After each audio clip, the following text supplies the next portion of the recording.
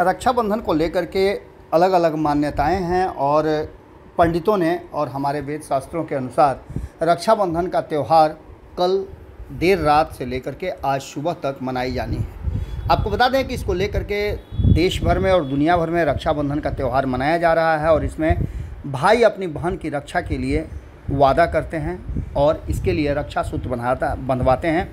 बहनें इस बात की कामना करती है कि हमारे भाइयों की रक्षा हो। लेकिन इसमें कई ऐसे वचन हैं जिसे भी निभाने पड़ते हैं और वचन दिए और लिए जाते हैं। आपको बता दें कि रक्षाबंधन को लेकर के बिहार में भी खूब सरगर्मियाँ तेज होती है। लालू प्रसाद के यहाँ का रक्षाबंधन और लालू प्रसाद के यहाँ की होली बहुत फ़ेमस रही है। जब लालू प्रसाद पूरे सवाब पर थे तो उनके यहाँ होली मनाने के लिए मीडिया से लेकर के राजनेता तक पहुँचते थे और वो होली दर्शनीय हुआ करती थी। लेकिन अब, जबकि सब कुछ बदल गया है, लालू प्रसाद उस अवस्था में नहीं है तो रक्षाबंधन के त्यौहार पर सबकी नज़र टिकी रहती है और इस बात पर टिकी रहती है कि क्या लालू प्रसाद के साला और राबड़ी देवी के भाई राखी बंधवाने आएँगे। आपको बता दें कि एक ऐसा समय आया जिसमें लालू प्रसाद के दोनों साले उनके बहुत करीब हुआ करते थे और सत्ता में उनके साथ कदम से कदम मिलाकर चलते थे। दाएँ और बाएँ खड़े साधु और सुभाष आज लालू परिवार से काफ़ी दूर हैं।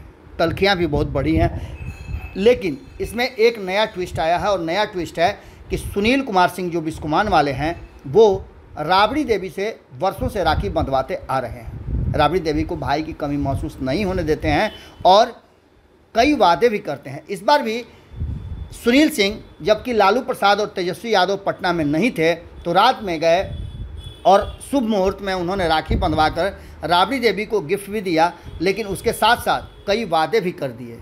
सुनील सिंह इस राखी बंधवाने वाले फ़ोटो को शेयर करते हुए बहुत सारी बातें भी लिखते हैं। उन्होंने कहा कि भावनात्मक और आत्मीय रिश्ता तो खून के रिश्ता से भी ज़्यादा बढ़कर होता है। खैर, जो भी हो, बहरहाल रक्षाबंधन पर्व के शुभ अवसर पर समस्त राज्यवासियों को हार्दिक बधाई एवं शुभकामनाएँ देता हूँ। लेकिन इसके साथ साथ आपको बता दें कि जो बिहार में राजनीतिक गतिविधियाँ चल रही हैं, वो भी काफ़ी महत्वपूर्ण हैं। अगर बात माने तो सुनील सिंह ने तेजस्वी यादव को मुख्यमंत्री बनाने तक वादा किया है और इस वादे के लिए वो हर संभव प्रयास करते रहेंगे। आपको बता दें कि इस बात को लेकर के अब चर्चाएँ शुरू हो गई हैं कि एक तरफ़ जहाँ मुंबई में बैठक चल रही है तो वहीं सुनील सिंह बिहार में मुख्यमंत्री बनाने के लिए तेजस्वी यादव के लिए ज़मीन तैयार कर रहे हैं। लगातार इससे पहले भी सुनील सिंह लालू परिवार के करीबियों में से रहे हैं और ऐसे करीबी रहे हैं कि जब लालू प्रसाद का सिंगापुर में किडनी का ट्रांसप्लांट हो रहा था, वहाँ भी मौजूद थे और हर दुख सुख में वो शामिल रहते हैं। यहाँ तक कि आपने देखा होगा कि राबड़ी देवी की बहू जो राजश्री हैं, उनके लिए उन्होंने विशेष आयोजन किया था और अपने घर बुला करके उन्होंने उनका जिस तरह से स्वागत किया, वो काफ़ी सुर्खियों में आया था। अब देखना दिलचस्प होगा कि सुनील सिंह एक तरफ़, जहाँ अपने धुन के पक्के हैं, लगातार वो सुर्खियों में रहते हैं तो वहीं जो राबड़ी देवी से उन्होंने वादा किया है, तेजस्वी यादव को मुख्यमंत्री बनाने का, उसमें कितना सफल हो पाते हैं। जुड़े रहिएगा भारत लाइव के साथ। रक्षाबंधन की आप सभी को बहुत बहुत बधाई, ढेरों शुभकामनाएँ। अगर ये वीडियो पसंद आई और वह बिहार के राजनीति और बिहारियत से सरोकार रखेनी तो सब्सक्राइब बटन दबा के चैनल के सब्सक्राइब कर ली।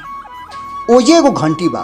ओकरा बटन दबा देला से कुल सटीक और मारक खबर रुआ मुफ़्त में मिल जाए अगर रुआ पत्रकारिता के हमनी के नया प्रयोग में सहयोग कर चाहतानी तो ज्वाइन बटन दबा दी।